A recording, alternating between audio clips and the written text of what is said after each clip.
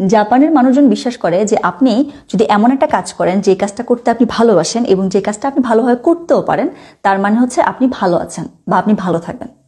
ওদের কাছে ভালো থাকার কনসেপ্টটাই হচ্ছে ব্যস্ত থাকা এবং এই ভালো থাকার কনসেপ্টটাকে ওরা একটা অদ্ভুত শব্দ দিয়ে প্রকাশ করে, যে শব্দটাকে ওরা বলে যে ইকিগাই। ইকিগাই মানে হচ্ছে আপনার বেঁচে থাকার অর্থ।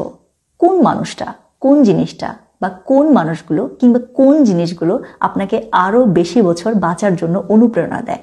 কি সেই রহস্য? এটাই হচ্ছে ইকিগায় ভালো থাকা, সুস্থ থাকা, বেঁচে থাকা, সুন্দরভাবে। তো যেটা নিয়ে কথা বলতে চাচ্ছি সেটা হচ্ছে জাপানের দক্ষিণ দিকের একটা দ্বীপ যেটার নাম হচ্ছে ওকি ওকিনাওয়া এবং ওই দ্বীপের মানুষজন, পৃথিবীর অন্যান্য যে কোনো অঞ্চলের মানুষজন, এমনকি জাপানের অন্যান্য যে কোনো অঞ্চলের মানুষজনের চেয়ে বেশি বছর বাঁচে বা এদের গড়াইও বেশি। একবার দুই ভদ্রলোক গিয়েছিল ওই দ্বীপটাতে, এই যে শতবর্ষী যে মানুষরা আছে বা তার চেয়েও বেশি, তাদের ইন্টারভিউ নেওয়ার জন্য। ইকিগাই নিয়ে ওদেরকে প্রশ্ন করার জন্য। তো ওদের ওই ইন্টারভিউতে মোটামুটি যেই কথাবার্তাগুলো ফুটে উঠেছিল, সেগুলোকে যদি সাম আপ করা যায়, তাহলে ইকিগাই সম্পর্কে বা ভালো থাকা সম্পর্কে ওদের যে রহস্যটা, সেটাকে দশটা নিয়মে ভাগ করা যায় বলে বলা যায়। তো আজকের এই ভিডিওতে আমরা ওই ইকিগাইয়ের যে দশটা রুলস বা জাপানিজরা যেটাতে বিশ্বাস করে যে যে যে কাজগুলো করলে আপনি ভালো থাকবেন, সুস্থ থাকবেন, সেগুলো নিয়ে আমরা কথা বলব। দশটা নিয়ম নিয়ে, ঠিক আছে?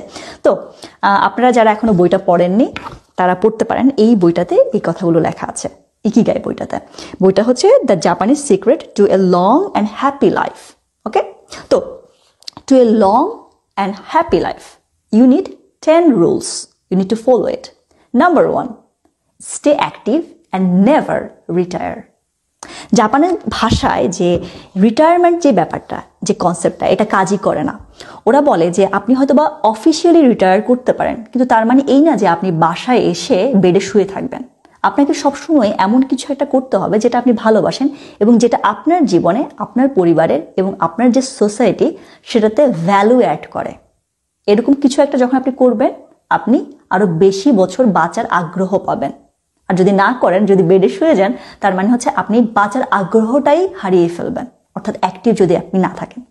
দ্বিতীয়ত ওরা যে কথাটা বলতে চায় সেটা হচ্ছে যে আপনি একটু স্লো যান। টেক ইট স্লো আমাদের এই বর্তমান যুগে আমরা সবসময় ছুটাছুটি করি। আমি নিজের কথা যদি বলি, আমিও ব্যস্ত, সারাক্ষণই দ্রুত, ছুট ছুট ছুট একটা ব্যাপার। তো জাপানিজরা বলে যে এরকম ছোটাছুটি বন্ধ যদি আপনি করে দেন, একটু যদি স্লো নেন জীবনটাকে, তাড়াহুড়োর মধ্যে যদি না থাকেন, তাহলে আপনি আরও বেশি বছর বাঁচবেন বা বাঁচার জন্য আপনার ইচ্ছে হবে। এই ব্যাপারটা আমার প্র্যাকটিস করতে হবে। এই ব্যাপারটা আমি পারি না এখনও। মানে হচ্ছে আমি যখন কথা বলি, তখন আমি খুব দ্রুত কথা বলি। আমি যখন চলাফেরা করি মুভমেন্ট সবকিছু আমার খুব দ্রুত, ছোটাছুটির মধ্যে থাকে। এটা আমাকে প্র্যাকটিস করতে হবে। তারপরে, তিন নম্বরে ওরা যেটা বলতে চায়, সেটা হচ্ছে যে, আপনি যখন খেতে বসবেন, তখন কখনোই আপনার যে স্টোমাক এটা কখনো ফুল করে ফেলবেন না। অর্থাৎ ধরুন আপনি ভাত খেতে বসেছেন। ভাত খেতে বসার পরে আপনি মোটামুটি পেট ভরে খেয়েছেন, কিন্তু তারপর আপনার কাছে মনে হচ্ছে মনে হয় আরেক চামচ নেওয়া যায়। এই যে এই ব্যাপারটা, এটা যেন কখনো কাজ না করে। অর্থাৎ ওই পরের চামচ ভাত আপনি নেবেন না। আপনি সবসময় বিশ ভাগ স্টোমাকের খালি রেখে দেবেন। কিংবা এভাবেও বলা যায়, ধরুন আপনি খেয়ে উঠেছেন, তারপর আপনি দেখলেন যেখানে মিষ্টি রাখা আছে, দই রাখা আছে। আপনি জানেন এটা খেলে আপনার একেবারে ঠাসাঠাসি অবস্থা হয়ে যাবে। তারপর আপনি খান। জাপানিজরা বলে, খুব হাইলি ডিসকারেজ করে এই ঠাসাঠাসি করে খাওয়ার ব্যাপারটা। ওরা বলে টোয়েন্টি পার্সেন্ট খালি থাকতে হবে, পেটের আশি পার্সেন্ট ভরা থাকতে হবে। এরকম একটা ব্যাপার ওরা বিশ্বাস করে। আমার কাছে মনে হয় কম খাওয়া ভালো। হ্যাঁ যাই হোক, তারপরে surround yourself with good friends আপনি আপনাকে যদি ভালো বন্ধু বান্ধবের সাথে ঘিরে রাখেন, ভালো বন্ধু বান্ধব কিন্তু, অর্থাৎ আপনার সারাদিন কেমন গেল, বা হচ্ছে কোনো বিপদে আপদে আপনার বন্ধু, ভালো বন্ধুদের যে অ্যাডভাইস নেওয়ার যে ব্যাপারটা, এটার মধ্যে যদি আপনি থাকেন, তাহলে হচ্ছে আপনি ভালো থাকবেন, সুস্থ থাকবেন বলে ওরা বিশ্বাস করে। এবং ওরা আরেকটা কথা বলে যে get in shape for your next birthday অর্থাৎ আপনি কখনো আপনার শরীরে যেন মরিচা না পড়ে যায় হ্যাঁ জং যেন না ধরে যায়, ওই ব্যাপারটা আপনাকে খেয়াল রাখতে হবে সবসময়। অর্থাৎ আপনি মোটামুটি এক্সারসাইজ করতে হবে। ভারী এক্সারসাইজ না, আপনার ঘরোয়া কাজ জেন্টাল যে মুভমেন্ট এগুলোর মধ্যে আপনাকে থাকতে হবে। যদি আপনি এগুলো মেনটেন করেন, তাহলে হচ্ছে আপনি ভালো থাকবেন। তারপর ওরা যেটা বলতে চায় সেটা হচ্ছে হাসি। আপনাকে যদি হাসি খুশি যদি আপনি থাকেন স্মাইলি যদি আপনি থাকেন, তাহলে আপনি নিজের জীবনে যেমন একটা গুরুত্বপূর্ণ, একটা প্রফুল্ল ভাব রাখবেন, তেমনি আপনি আশেপাশে অনেকের মাঝেও এই প্রফুল্ল যে ভাবটা, এটা ছড়িয়ে দিতে পারবেন। খুব স্বাভাবিক, একটা হাসি মুখে একটা মানুষ যখন আপনার সাথে কথা বলে, তখন কি হয়? আপনার তার সাথে কথা বলতে ভালো লাগে। এরকম একটা ব্যাপার ওরা বিশ্বাস করে।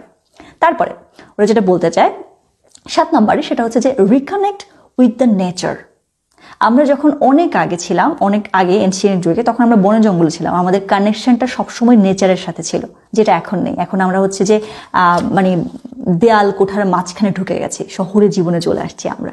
তো জাপানিজদের প্রত্যেকেরই হচ্ছে বাড়ির পাশে একটা ছোট্ট বাগান থাকে, যে বাগানে হচ্ছে ওরা প্রতিদিন কাজ করে। তো সেটা হয়তো বা আমাদের শহুরে জীবনে সম্ভব না, তাই আমরা করে কি, আমরা এরকম গাছপালা রেখে দিই আশেপাশে যে গাছপালাগুলো হচ্ছে যে আমাদেরকে ভালো রাখবে বা একটা ন্যাচারাল একটা ভাব দেবে। তো ওরা বলতে চায় যে আপনি মাঝে মাঝে পার্কে যান, গ্রামের বাড়িতে যান, বাগানে কাজ করুন, এটা